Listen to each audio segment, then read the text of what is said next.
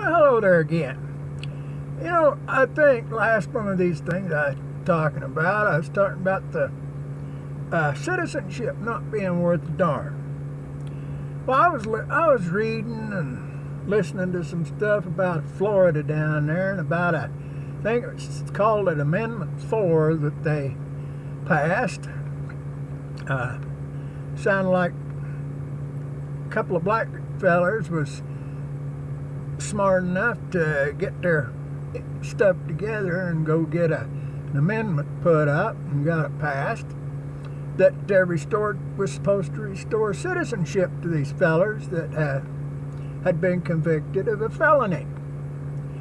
Well, you know, that's something that's kind of a sore spot with me. I don't believe in all this paint. You know, I'm. I believe in Christianity as it's taught in the book.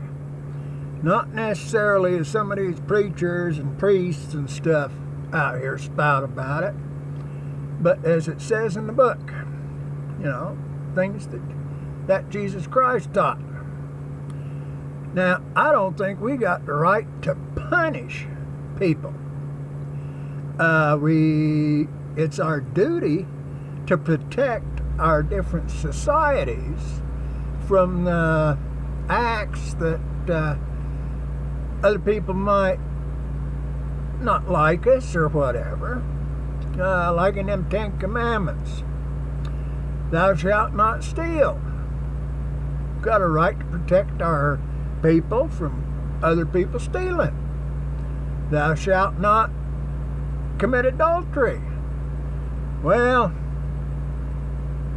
we ain't got a right to go stopping people from committing adultery, but so that's not really can't be figured in as being some kind of crime that can be nailed as a felony.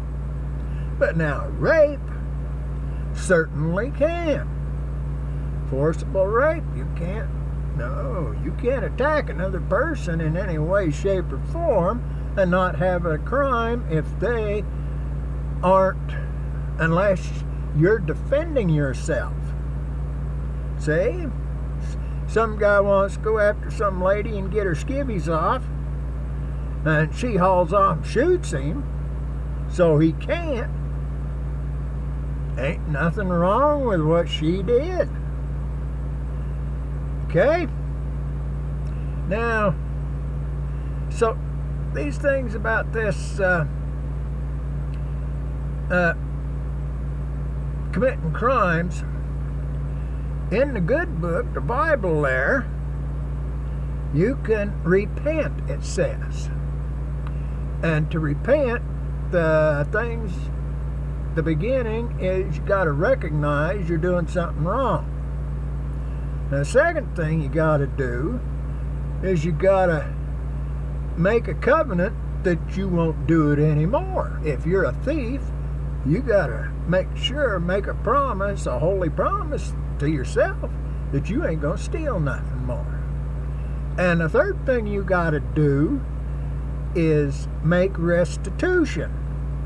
If you stole a hundred dollars from some feller, or you took somebody's cow rustling, or you stole a horse, kind of things you used to get hung for in the old west, uh, you got to replace that.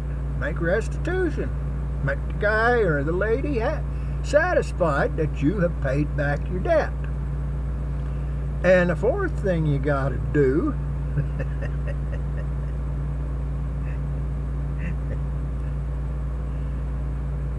Well, I forgot the fourth thing you got to do right at the moment.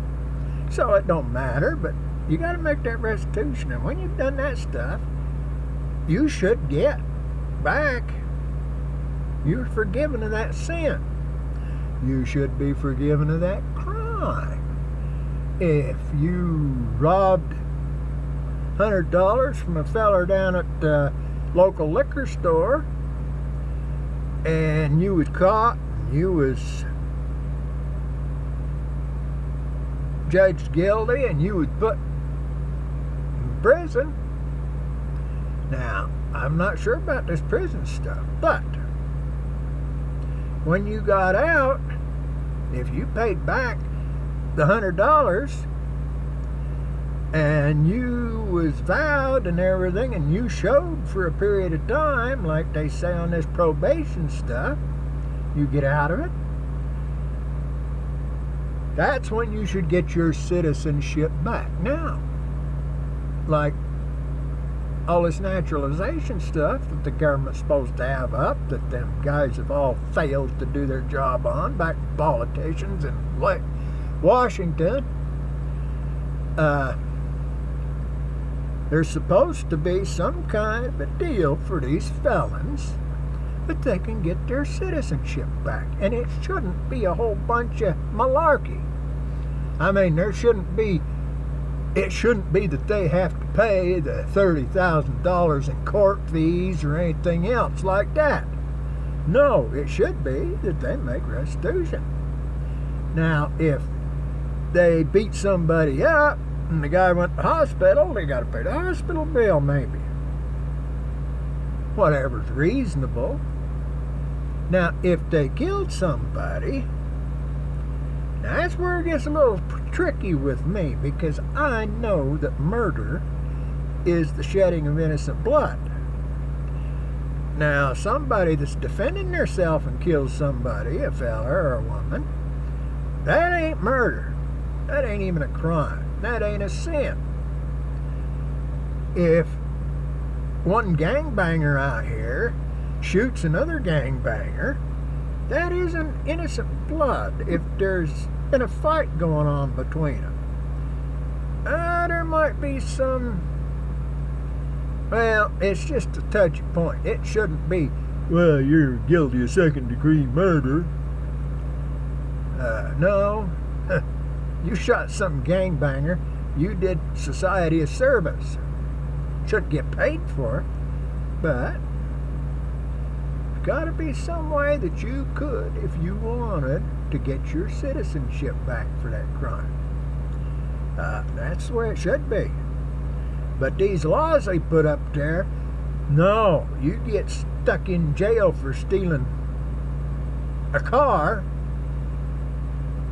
and you get convicted of a felony, the way them socialists and stuff and that government's done, why, that is a forever sentence. That's not right. After you served your seven years, you paid back the money, or you bought, paid that for that car you stole, and all that, Okay? That should be the end of it. You should. They have some kind of naturalization thing like they do for these people that's coming in from another country It's legal. An immigrant. Well, there should be the same thing. You're an immigrant. You just came out of that prison country. You come in, you've spent your five years, your seven years since in the United States, being a good boy or girl, you take this test, this written test of some kind about the government, whatever, just reasonable. Okay, it's forgot. You can go down and buy a firearm. You can go down and register to vote. And you can do all these things. That's the way it's supposed to be. But the way the socialists have screwed up this government that we were given in the Constitution of the United States, they didn't make no arrangements for them things. They made arrangements in original intent that when you got convicted of that felony, you lost your citizenship. That was part of the punishment or that was the punishment.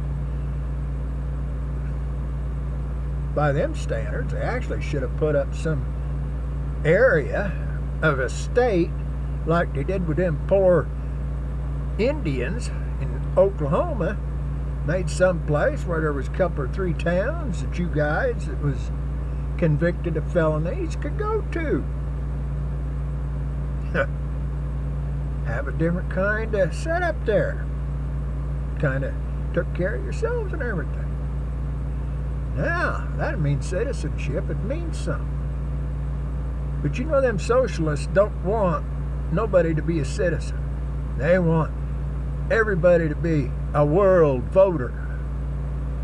They don't want to call out and make it legal for them illegal veteran, them illegal aliens to go out of the country, go through a little bit of rigmarole for six months or so, get a visa, come back in, go back to the place where they were living and the job they were doing as an illegal alien, as a legal alien with rights to go ahead and get citizenship in five or seven years. Now, my ancestors came in, most of them came in through that uh, place back there in New York Harbor. Uh, had a picture of that Ellis Island, I think, at the beginning of this. They went through and got all paper documentation and everything, and then they got into the country and they went and over the next, I can't remember what, five or seven years, they had to learn English, they had to learn about the government, they had to learn about this stuff. They then they could become citizens. They were naturalized. They went down and then they put their arm in the air and they swore to uphold the Constitution and all that good stuff. Now, the socialists don't want you to do that because that is living by the law, under the law. They want to be controlling. They want to have their, they want to be Duchess and Duke, King and Queen, and they want you under their thumbs. They want you to be dependent upon them. They want us to, yes, ma'am, no, ma'am, yes, sir, no, sir. But in this country, everybody is as good as everybody else. Hmm. You know, that's right. Even that God I believe in looks at us that way. Ain't nobody any better than me, and I ain't no better than anybody else. Don't matter if I was that billionaire back there with all that fancy stuff that's trying to push all that uh, brainwashing onto the kids in public school or nothing like that still just like me, and when he steps through the curtain, he's going to answer just like when I step through that curtain, go looking around at that hereafter.